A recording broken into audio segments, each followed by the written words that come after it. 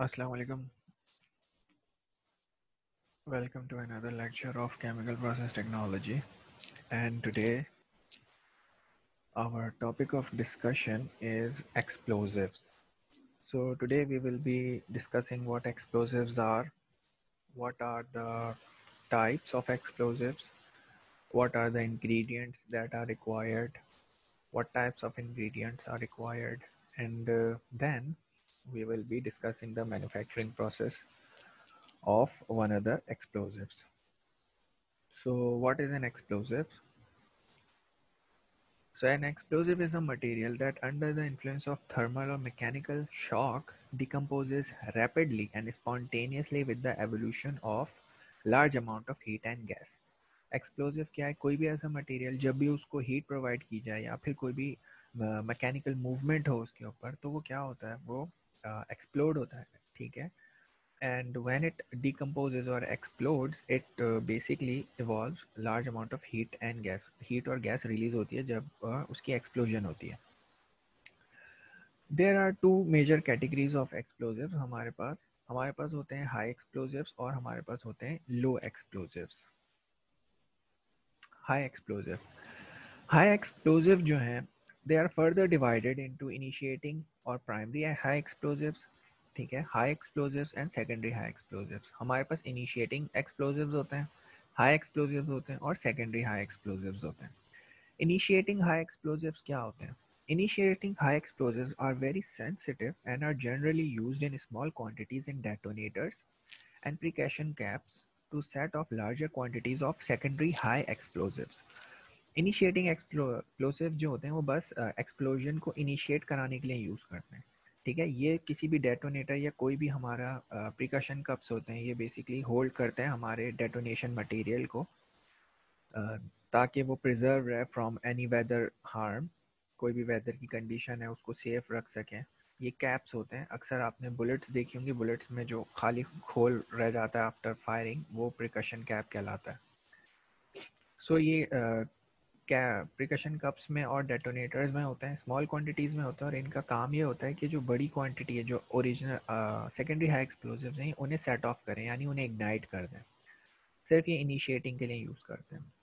Secondary high explosives chiefly nitrates, nitro compounds and nitramines are much less sensitive to mechanical or thermal shock, but they explode with great violence when set off by an initiating explosive. Secondary high explosives क्या क्या होते हैं हमारे पास? Nitrates होते हैं, nitro compounds होते हैं नाइट्रा amines होती हैं। ये जो है, सेंसिटिव नहीं होते इतने मैकेनिकल या थर्मल शॉक के, यानी इनिशिएटिंग जो एक्सप्लोजिव होते हैं, वो ज़्यादा सेंसिटिव होते हैं किसी भी हीट या किसी भी मैकेनिकल शॉक के, ये कम सेंसिटिव होते हैं। मगर इन, ये जब एक्सप्लोड होते हैं तो इनकी जो फोर्स होती है, इनकी जो प्रेशर होता है, वो बहुत ज़्यादा होता है। As compared to initiating explosives. A high explosive is any chemical mixture that detonates with a reaction velocity over 5000 feet per second. ठीक है हाई एक्सप्लोजिव कोई भी केमिकल मिक्सचर जो कि डेटोनेट हो तो उसकी जो रिएक्शन की वेलोसिटी हो, वो 5000 पर फुट पर सेकंड या इससे ज़्यादा है तो वो हाई एक्सप्लोजिव कहलाता है हाई एक्सप्लोजिव की type number one is straight dynamite straight dynamite क्या होता है it's nitroglycerin is an absorbent इसमें हम नाइट्रोग्लिसरीन को यूज़ करते हैं एज एन एब्जॉर्बेंट ठीक है? And its velocities are between ten thousand to twenty thousand feet per second इतनी इसकी वेलोसिटी होती है। This dynamite is the most sensitive of all commercial explosives ये तमाम कमर्शियल uh, एक्सप्लोजिव में सबसे ज़्यादा सेंसिटिव होता है। The weight strength is the actual percentage of nitroglycerine in the cartridge इसकी वेट स्ट्रेंथ क्या होती है कि कितना परसेंट नाइट्रोग्लिसरीन हमने यूज़ किया है कार्ट्रेज के अंदर? The explosive has poor fumes इसकी जो फ्यूम्स होती हैं वो अच्छी नहीं होती। इसकी वाटर रेजिस्टेंस अच्छी होती है और पुअर कोहेशन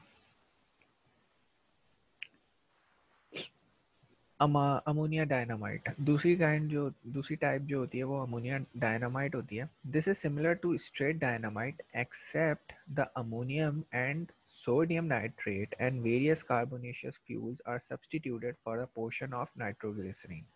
यहाँ पे ये बिल्कुल स्ट्रेट डायनामाइट की तरह ही होता है मगर यहाँ पे हमारे पास अमोनिया या सोडियम नाइट्रेट होता है इंस्टेड ऑफ़ नाइट्रोग्लिसरीन एब्जॉर्बेंट के तौर पे। इसकी तीन क्लासेस होती हैं सब क्लासेस होती हैं। एक number one is high density high density क्या होती है? This product has a detonation velocity of 8000 to 13000 foot per second इसकी वाटर रेजिस्टेंस अच्छी होती है और इसके फ्यूम्स भी ठीक भी होते हैं जो high density ammonium ammonia dynamite होता है। Low density ammonia dynamite This product has a detonation velocity between 7000 and 11000 feet per second, fair to good fumes and fair to poor water resistance ठीक है? इसकी जो डेटोनेशन वेलोसिटी वो ten thousand से ग्यारह हज़ार फिट पर सेकेंड के दरमियान होती है। इसके फ्यूम्स भी ठीक ही होते हैं और इसकी वाटर रेजिस्टेंस ठीक होती है, ज़्यादा अच्छी नहीं होती। परमिसेबल टाइप्स तीसरी होती है permissible types these products are similar to low density ammonium dynamite except they contain cooling salt such as sodium chloride यहाँ पे हमारे पास कूलिंग सॉल्ट यूज़ होते हैं। They are just like ammonium ammonia के डायनामाइट लो डेंसिटी के dynamite की तरह ही होते हैं। बट यहाँ पे हम अमोनियम सोडियम क्लोराइड यूज़ कर लेते हैं। Permissible must be approve by U S bureau of mines under specific condition of usage ठीक है? दे मस्ट भी अप्रूव इनके अप्रूवल लेनी पड़ती है। This material usually has good fumes and fair to poor water resistance इस material के जो fumes होते हैं, वो अच्छे होते हैं। बट जो वाटर रेजिस्टेंस है वो बस ठीक ही होती है।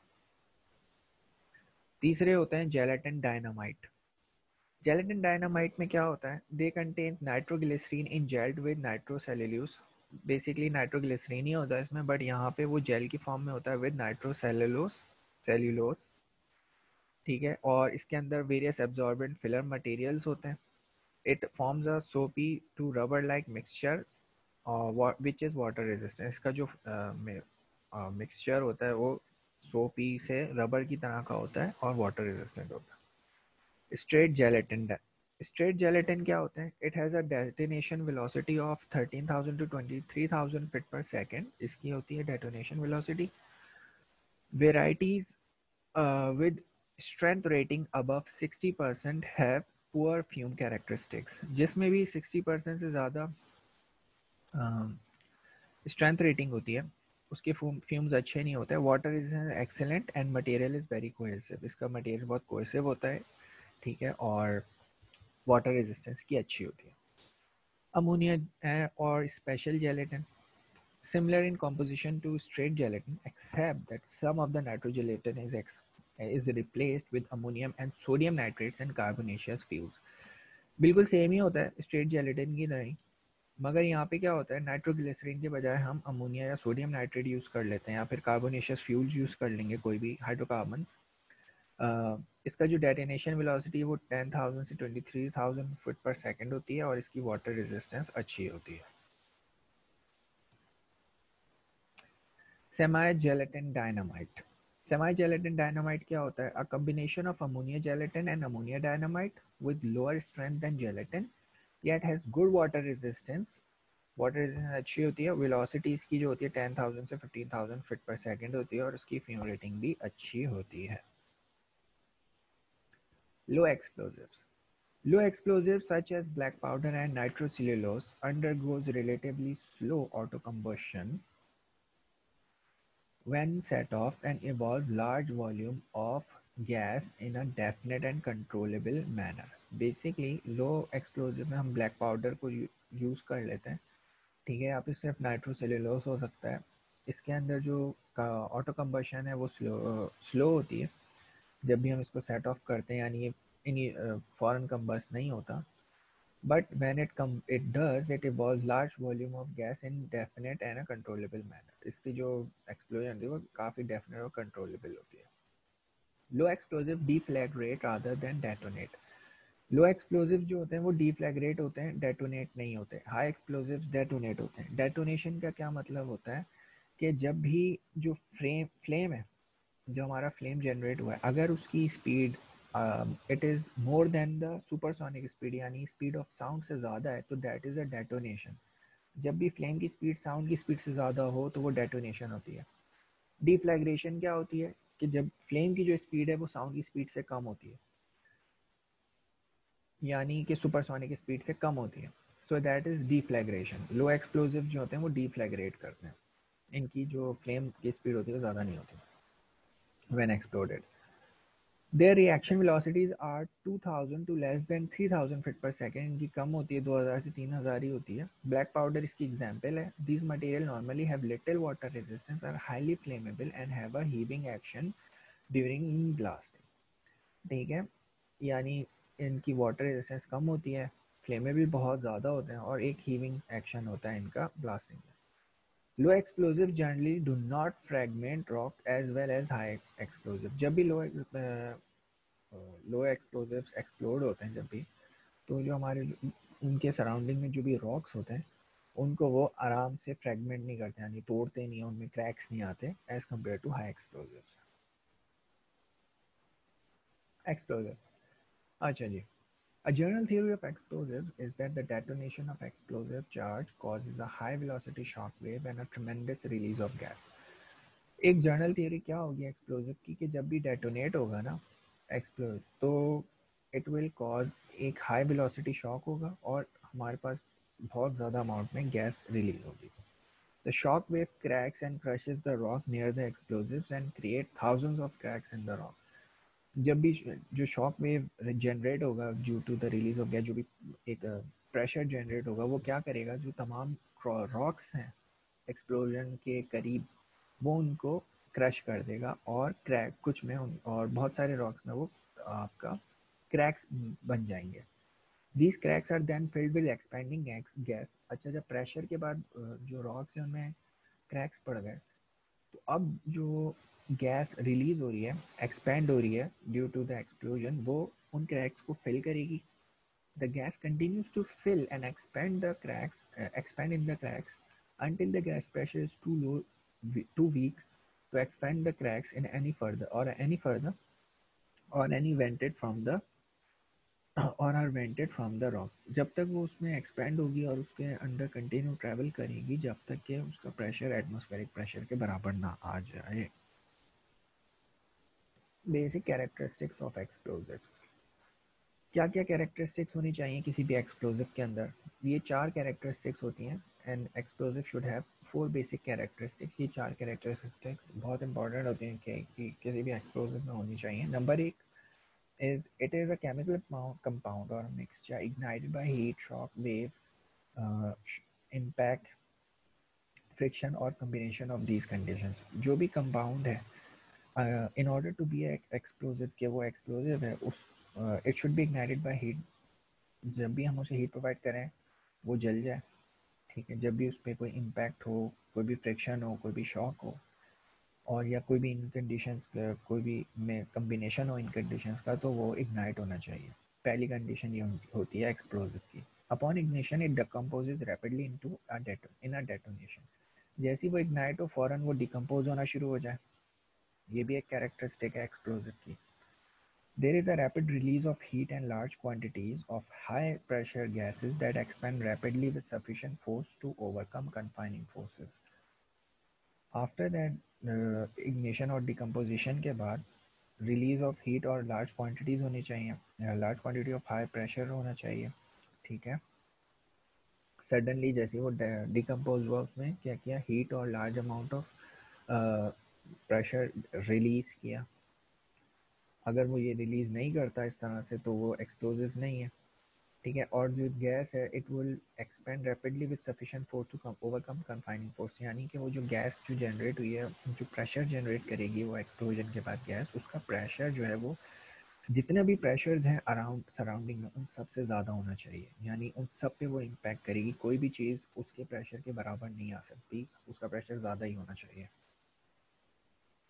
और चौथी कैरेक्टरिस्टिक है the energy release by detonation of explosives produces four basic effect जब जो एनर्जी रिलीज़ हुई है डेटोनेशन के बाद, जो इग्निशन के बाद, जो एक्सप्लोजन हुई है, उसमें ये चार इफेक्ट्स होने चाहिए। वो ये चार इफेक्ट्स प्रोड्यूस करना चाहिए उसके, उस एक्सप्लोजन को। Number one is rock fragmentation यानी जो रॉक्स हैं सराउंडिंग में वो तमाम जो है, वो फ्रेगमेंट होने चाहिए। तमाम मतलब गुड क्वांटिटी उनकी फ्रेगमेंट होनी चाहिए।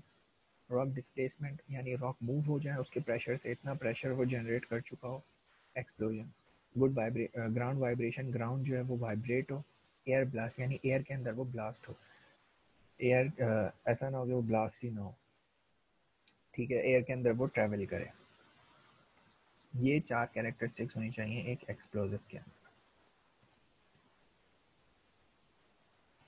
इंग्रेडिएंट्स इन एक्सप्लोजिव मैन्युफैक्चरिंग जो हमारे बेसिक को इंग्रेडिएंट्स होते हैं एक्सप्लोजिव के वो क्या क्या होते हैं?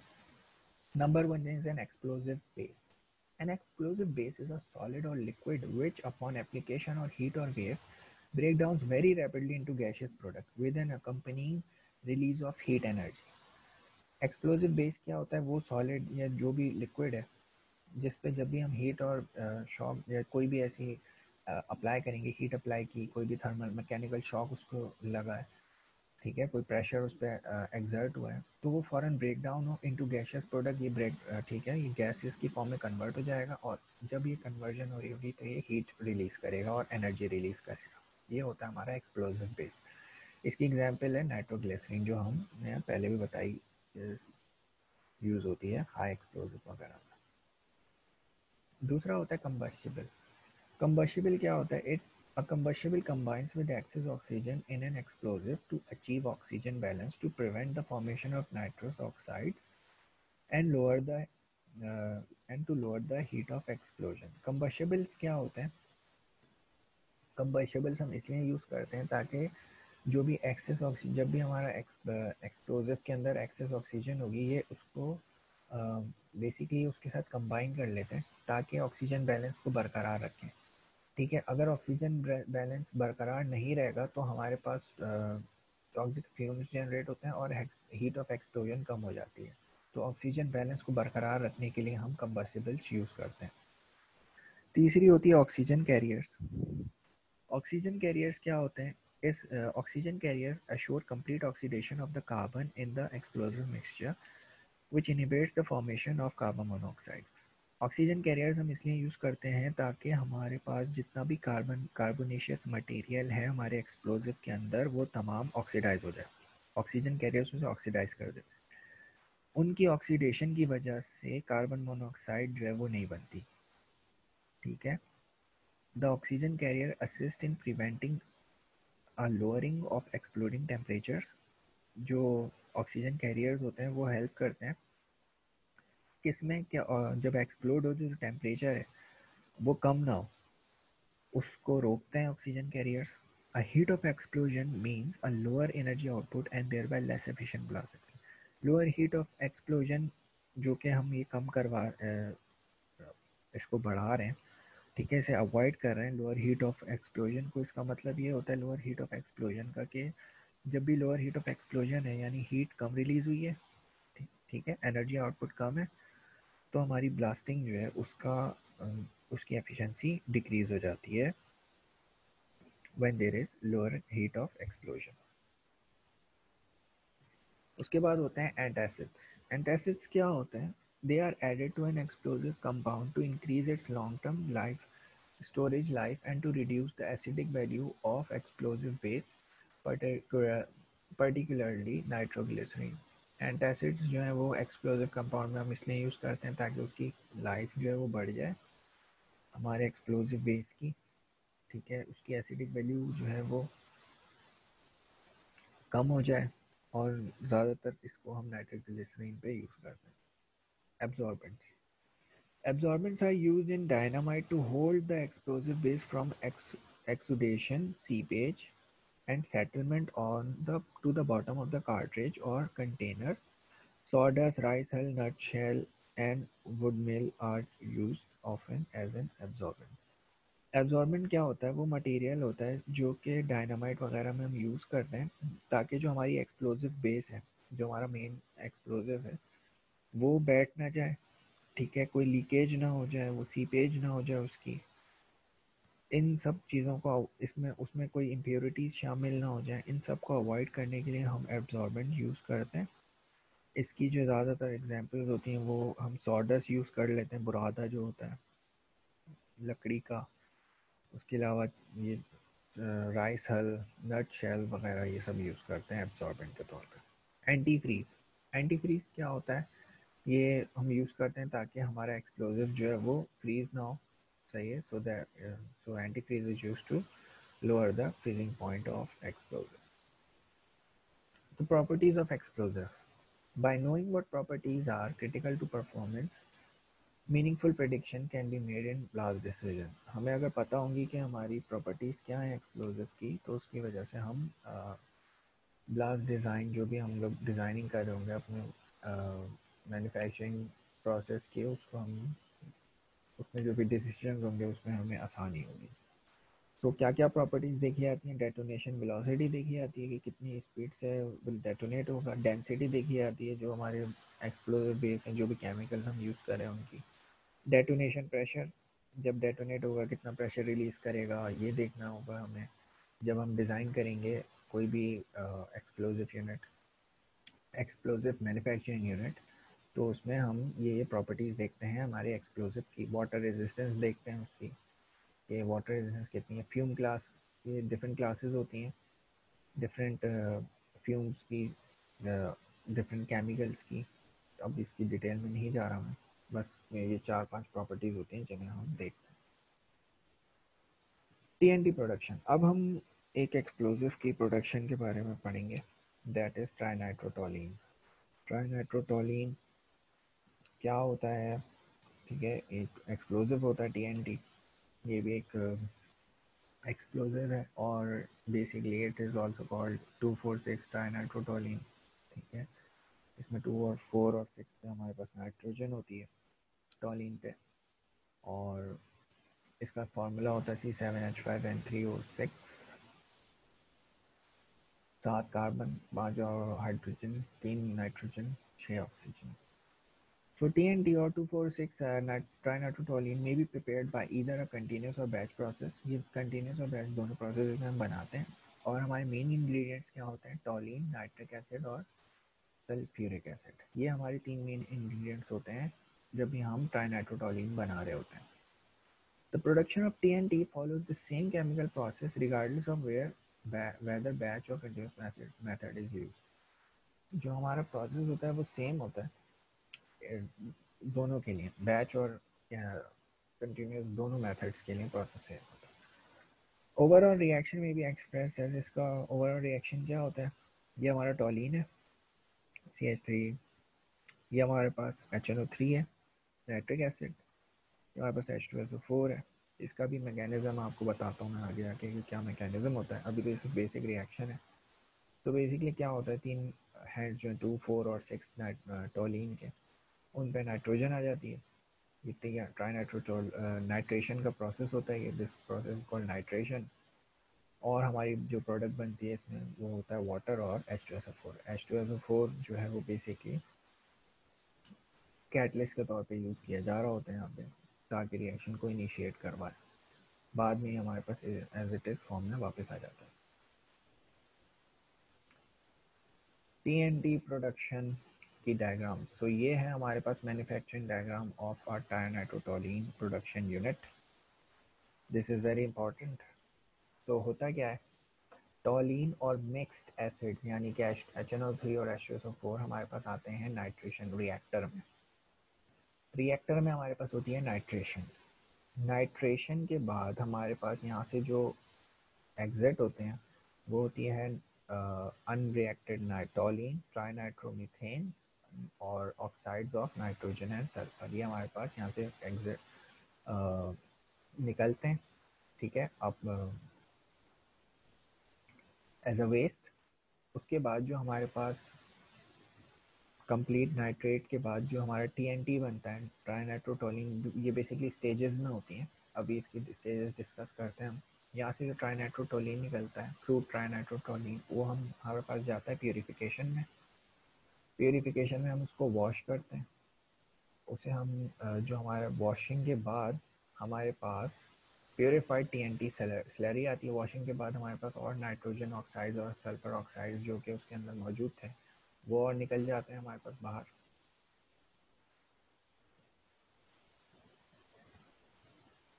ठीक है, वो रिलीज़ होते हैं यहाँ से। उसके बाद हमारे पास प्योरीफिकेशन यानी जब हम वॉशिंग करते हैं तो जो वाटर हमारे पास बचता है, उसे हम कहते हैं येलो वाटर यानी the water that is use for the purification of T N T for उस जो वाटर वेस्ट वाटर होता है, उसे येलो वाटर कहलाता है वो. ठीक है?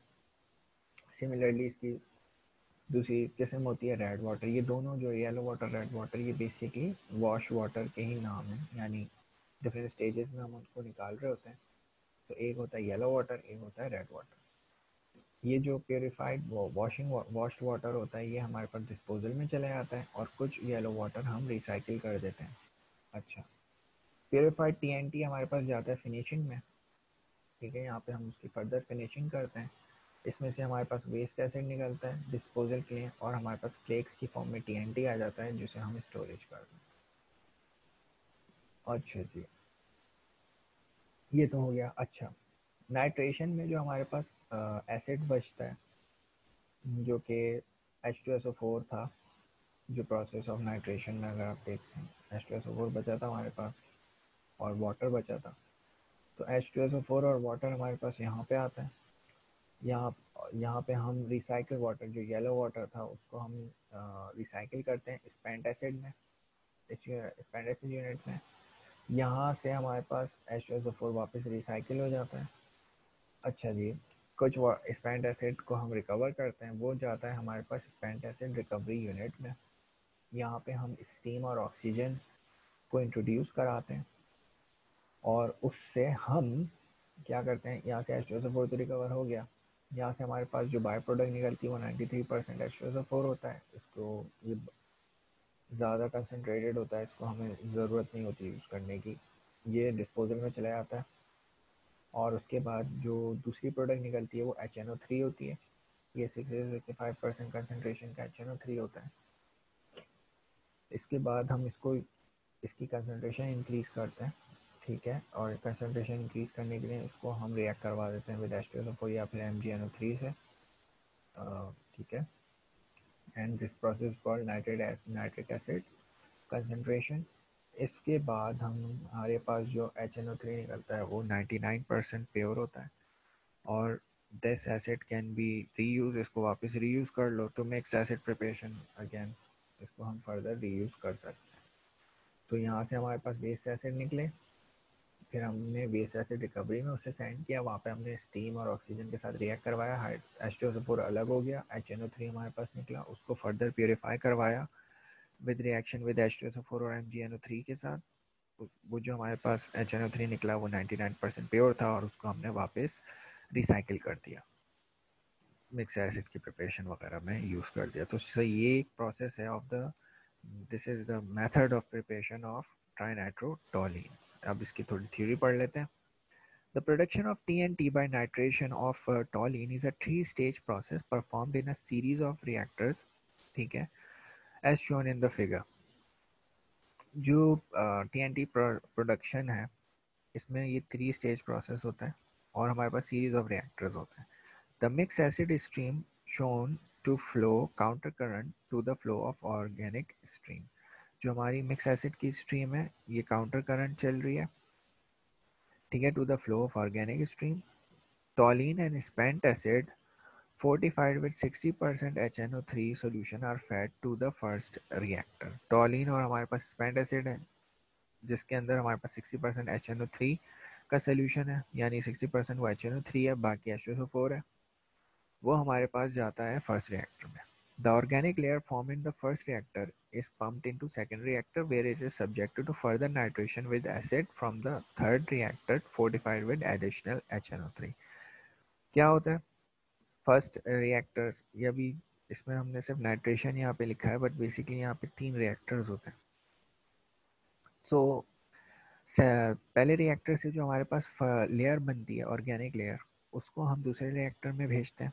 It is pumped into second reactor वहाँ पे हम उसको एडिशनल दोबारा नाइट्रेशन करवाते हैं और उसमें हमारे पास जो एसिड होता है उसमें हम एडिशन करवा देते हैं एच की जो थर्ड रिएक्टर से आ रहा होता है। The product from the second nitration step, a mixture of all possible isomers of dinitrotoluene is pumped to the third reactor.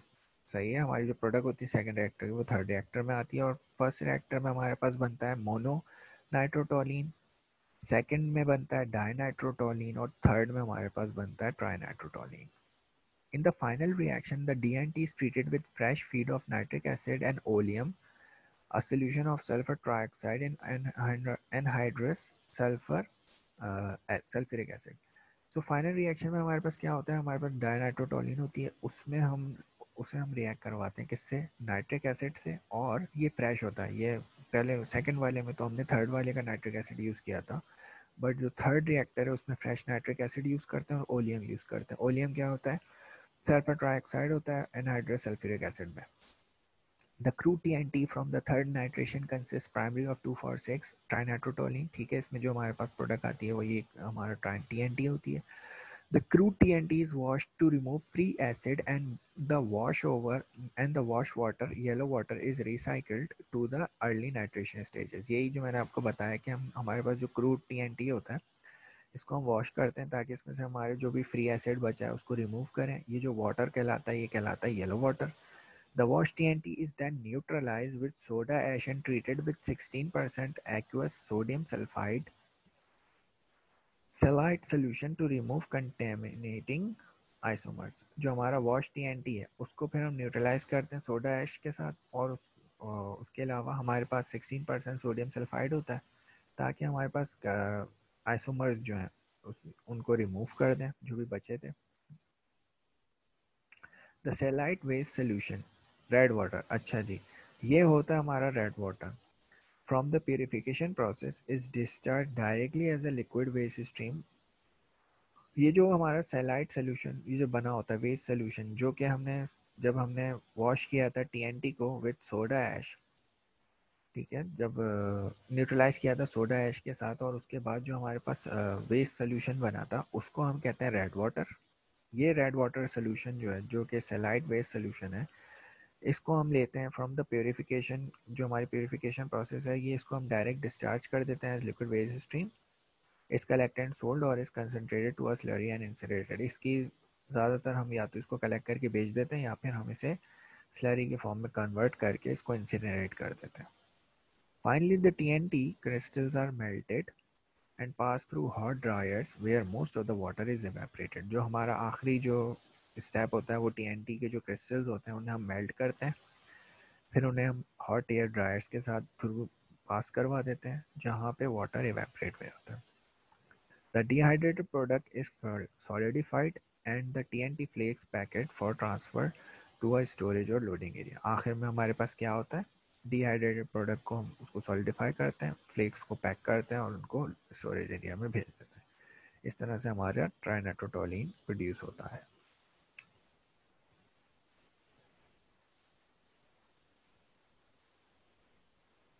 So so, ये तो हो गया आपका TNT की प्रोडक्शन अब ज़रा सा मैकेनिज़्म देख लेते हैं कि इसका मैकेनिज़्म क्या होता है। थोड़ा सा ये भी समझा दूँ मैं आपको। सो so बेसिकली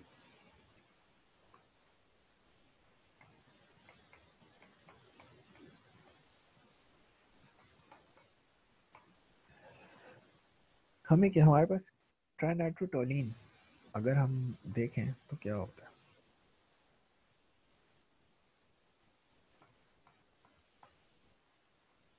ये होता है हमारे पास trinitrotoluene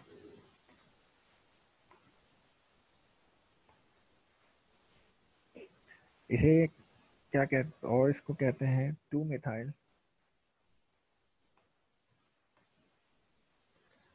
one three five nitrobenzene.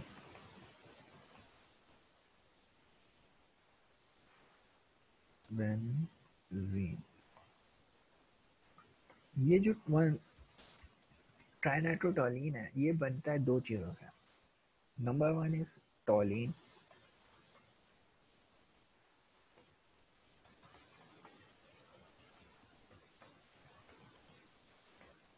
जो कि हमारे पास हम कहीं से भी ले सकते हैं।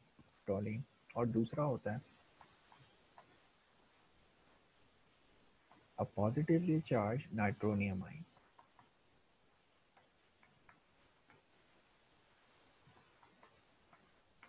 ठीक है इन दोनों की कॉम्बिनेशन के साथ हमारे पास मिथाइल ये जो टी एन टी है, ये बनता है नाइट्रोनियम आइन जो है, ये हम कहीं से ख़रीद नहीं सकते। We can not buy nitronium ion nitronium ion हमें प्रोड्यूस करना पड़ता है। तो नाइट्रोनियम आइन कैसे बनता है? उसके लिए हमारे पास कैटालाइटिक रिएक्शन होता है।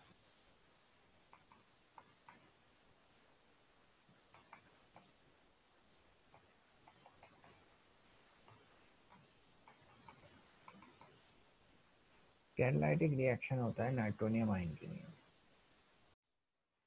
हाँ भाई कैटालाइटिक रिएक्शन होता है नाइट ताकि इससे हमें नाइट्रोनियम आइन बन, मिलता है। कैटालाइटिक रिएक्शन किसका दरमियान होता है?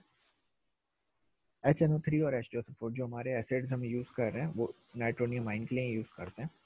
तो बेसिकली होता क्या है, हमारे पास एच एन ओ थ्री किस तरह से होता है? एच एन ओ थ्री क्या होता है?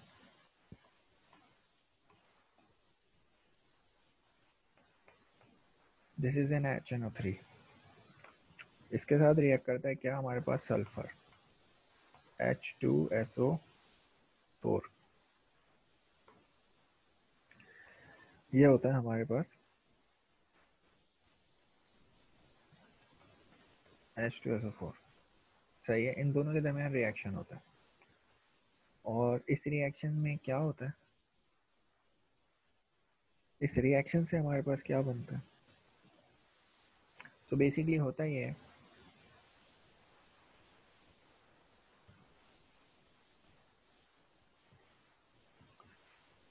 जब हम इन दोनों के दरमियान रिएक्शन करवाते हैं so this hydrogen breaks from our H two S O four और यहाँ पे नेगेटिव चार्ज छोड़ देता है H two S O four पे। ठीक है? हाइड्रोजन ब्रेक होता है और वो रिएक्ट करवा देता है hydroxyl ion of H N O three के साथ, और बना लेता है क्या? हमारे पास बना लेता है वाटर एच टू ओ बना लेता है प्लस दूसरी चीज़ हमारे पास क्या बचती है? एक negatively charge H two S O four एक हमारे पास negative charge H two S O four बचता है। H S O four sorry इसमें नेगेटिव चार्ज होता है क्योंकि हाइड्रोजन अपना आइन अपना इलेक्ट्रॉन डोनेट करके जाता है। और हमारे पास क्या बच जाता है? एक नाइट्रोजन ये ये वाला हिस्सा बच जाता है हमारे पास। ये वाला पार्ट चला गया। तो हमारे पास अब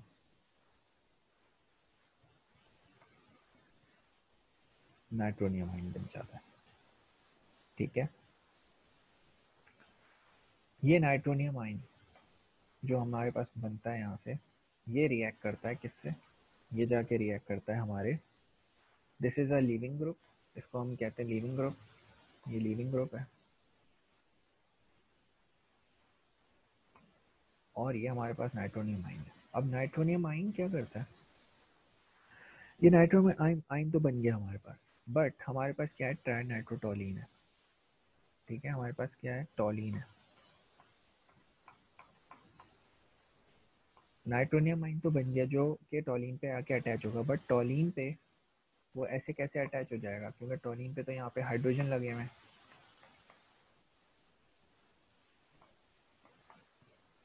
ठीक है, जगह तो है ही नहीं। वो आके लगेगा किस तरह? तो उसके लिए वो जो वाटर हमारा मॉलिक्यूल बना है वाटर का जो मॉलिक्यूल बना है, वो वाटर मॉलिक्यूल इस एच के साथ रिएक्ट करता है और बना लेता है हमारे पास।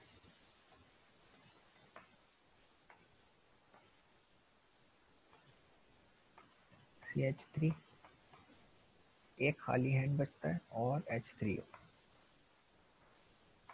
ठीक है? एच थ्री ओ बना लेता है और दिस एच थ्री ओ ये एच थ्री ओ जो है वो फर्दर रिएक्ट करता है with H S O four ठीक है? Negatively charge H S O four to make H two O plus H two S O four ये वापस बन जाता है। तो इसका कहानी खत्म हो गई। अब ये जो खाली हाथ बचा था, जो खाली हैंड बचता है इसका, इस पर क्या होता है? वो हमारा नाइट्रोनियम आइन आके अटैच हो जाता है। ठीक है? और ये बन जाता है हमारा। ठीक है एंड व्हाट इज़ दिस ये जो होता है हमारे पास।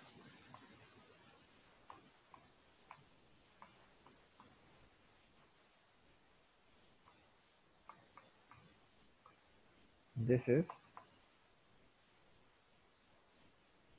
mono